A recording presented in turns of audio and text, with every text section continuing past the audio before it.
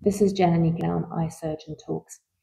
I thought I would do a series of questions from patients um, because this is obviously of great interest um, because these are questions that my patients actually bring to me and they tend to come up again and again um, with similar eye conditions in similar situations.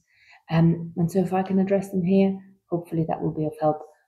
People don't always necessarily remember what's said in the clinic. Sort of a high stress environment, there's lots going on. So here's the information again.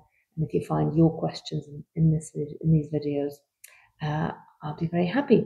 Uh, please feel free uh, to put down in the comments any questions you might want answering, uh, and I'll do my best to address those.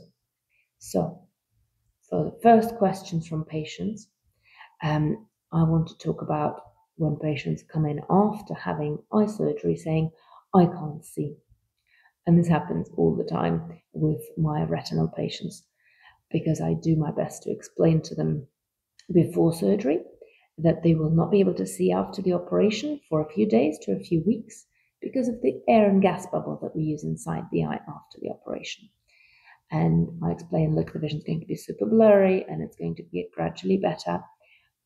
But you don't necessarily take this in before the operation. There's lots of information. You're quite stressed out.